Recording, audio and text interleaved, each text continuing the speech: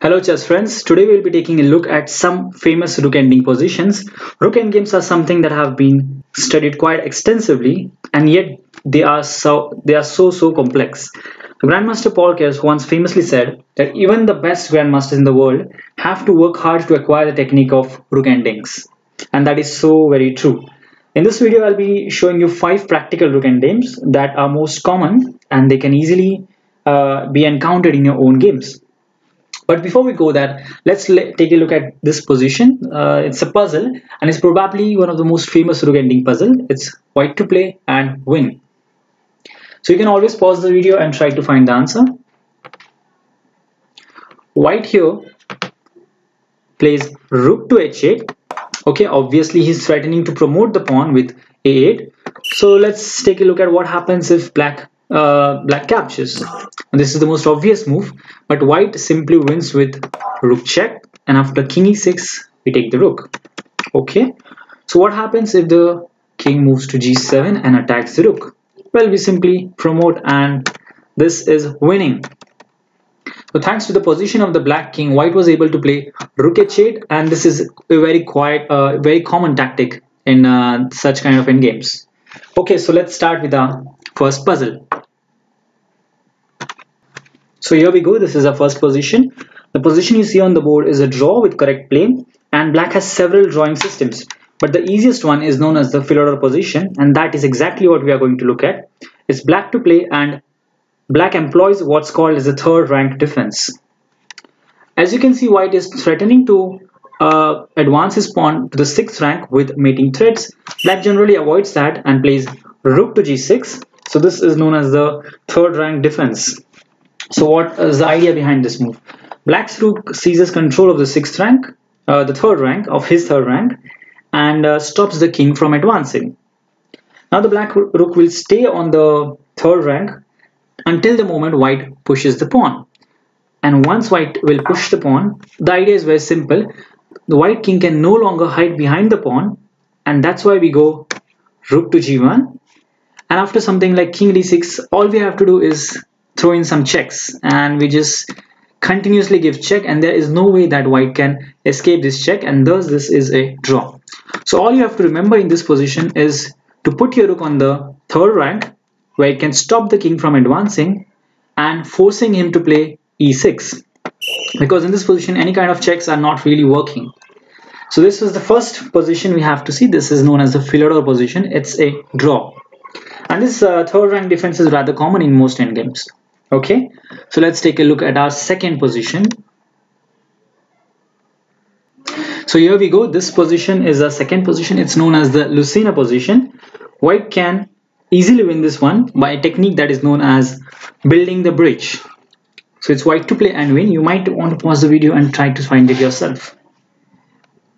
Okay first of all uh, as the black king is quite close and we can't really move our king. First of all we need to drive the black king away. So first we play rook to c2 check.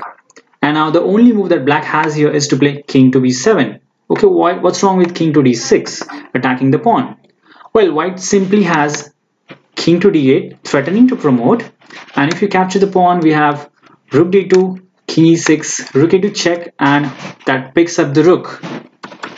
So that leaves black with only one move that is to put his king on b7 and this is where the we start building the bridge. We play rook to c4 so the rook jumps on the fourth rank. That is it's re relocated two squares under the passed pawn. White now plays rook d1 king f7 check. King e6 king f6 and we just advance our king. And finally after rook e1 we play rook to e4 so the build is the bridge is complete and the pawn can easily be promoted. For example, there's now no way to stop the pawn. He, black can simply capture and white will promote. So the whole idea of this is to build a bridge after rook to c4. It's rather an easy technique and quite a famous one. Okay, so let's take a look at our third position. So now we move on to the uh, position which is known as the first rank defense. This defense is particularly useful against uh, when the attacking side has a knight or a rook pawn. So in this position, the white side, that is attacking side has a knight pawn. So this particular technique known as the first rank defense is rather useful over here. And as the name suggests, white simply plays, a black simply brings his rook to the first rank and that's quite an easy defense. So the king stands in front of the pawn while the rook just stays on the first rank. So let's take a look. By the way, note that the first rank defense works only against the knight or rook's pawn and not in the case of a bishop or central pawn. That is because in those cases there will be more space on the left side of the pawn and that's why the first rank defense works easily in the case of a knight or rook's pawn. Okay, so let's take a look. White now advances his pawn and all we have to do is keep our rook on the first rank. So rook to f8, white throws in a check and here we have to be very careful. Something like king to c8 is a blunder and white simply goes king to a7 with several threats including rook b8 and this is actually losing. So all black has to do here after rook b7 check is stay on the in the corner and uh, after rook a7 king b8 rook goes to the h7 we just play rook to g8 and keep tight and there is actually no way that white can make progress. In fact after something like b6 black can start checking the white king and as you can see there is that's completely drawn. So the first rank defense is a rather easy and useful one especially against when your opponent has a knight or a rook pawn. So here, here we go. This is a fourth uh, puzzle. Uh, this is known this is known as the Vancura defense and is particularly classified when the uh, pawn is on the sixth rank. Okay, so the Vancura defense starts after black plays king to g7 and now if we just play something like a6 and this transfer this is just a draw and we'll see this in the next position. But what happens if the king advances? Now we play rook to f1 and this is the starting point of what is known as the Vancura defense the king is trying to advance and shepherd the pawn and we just play rook f6. So this is the point of the Vancura defense. The rook attacks the sixth uh, rank pawn laterally and thus if the white king approaches the pawn, the rook can deliver checks, a lot of checks and the king cannot use the pawn as a shelter. Now on the other hand, if the pawn advances, then we can always go back to our initial position and something like a7 and we play rook to a6 and that's simply a draw. Thus, white's only chances to advance is pawn, so he plays king to d5.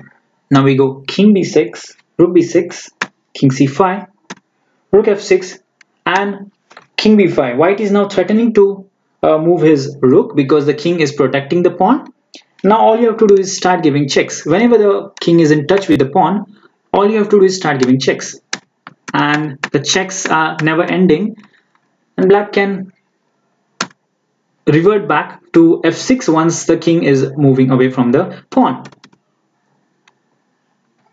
So that was the whole point of this Vancura defense. White black just keeps the rook on um, on the sixth rank and attacks the pawn.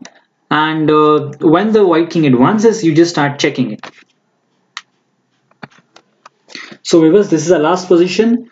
In this position, the pawn is has already reached the seventh rank and uh, you might uh, you might uh, be reminded of our first position. Yes you're right. White is threatening to play rook to h8 and he will win the game. But here it's black to play and black's defense is very very easy. All he has to do here is keep his king on g7 and h7 and that's easily a draw. So let's take a look. After king g7 uh, there is no good check for the rook no good move for the rook uh, he'll just drop the pawn. And therefore all the best try he can do is to advance his pawn advance his king. So king f3 and we just keep moving our king from h7 to g7 to king e4 king g7 king d5 king h7 black just keeps moving his king.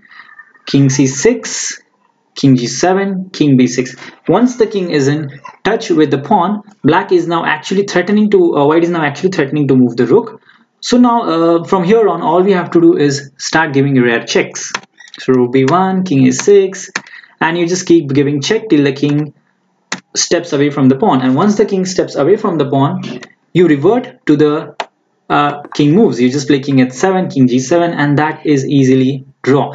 As you can see, white really doesn't have any um, uh, further progress. He cannot make any further progress. For example, king b6, we simply play rook to b1 and we go back to the same checks. And whenever he moves away from the pawn you just move your king. So that's a rather easy defense. So those were the five uh, important endgame rook positions. Thank you for watching and hope you have got something out of this uh, puzzles. Do subscribe to my channel and till next time